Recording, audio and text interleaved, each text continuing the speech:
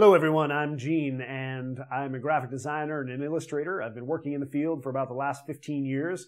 Today, we're going to do something awesome just in time for Halloween. We are going to do some mummy crafts with toilet paper. Now, I know you've probably seen on Scooby Doo or whatever newfangled cartoons we have these days for kids where there's a mummy and he's like, and then somebody comes along and they step on a little piece of the wrap that's on his leg and he spins around and he gets dizzy and he falls over. That probably won't happen with toilet paper because if anybody stepped on that toilet paper, it would just go and tear right off if the mummy was walking with toilet paper on him and he would just keep walking. And it's actually safer now that I think about it. So if the mummies would actually wrap themselves in toilet paper, they wouldn't have anybody just stepping on a loose wrap and then unraveling them and getting dizzy and falling over. So we're going to make ours out of toilet paper. Let's get started, guys. So let's just say that you're not you, you're famous explorer Nathan Drake and you're wandering around ancient Egyptian ruins and you accidentally open up a sarcophagus like this one and some green mist comes out and it gets you and it's the,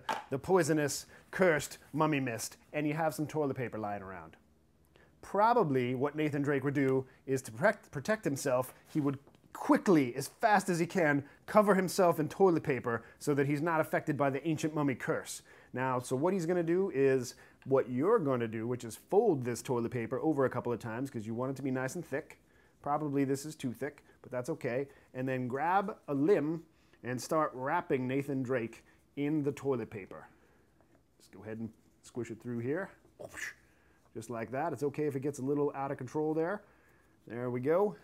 And we can take a couple longer pieces and we can do it lengthwise and we can actually wrap him uh, a little bit longer here. And essentially, what you're going to want to do to protect Nathan Drake from the ancient mummy curse is wrap his entire body in toilet paper so that the mummies can't see him.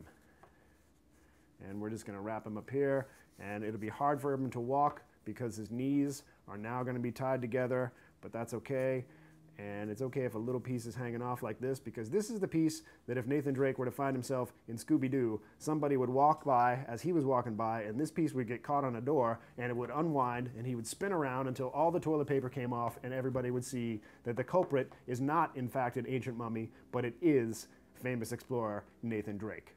Just remember, toilet paper equals safe because you're never going to trip over toilet paper because it tears and it'll always make a fun mummy wrap. So I hope you guys had a lot of fun and learned something, and we will see you next time. Thanks for watching.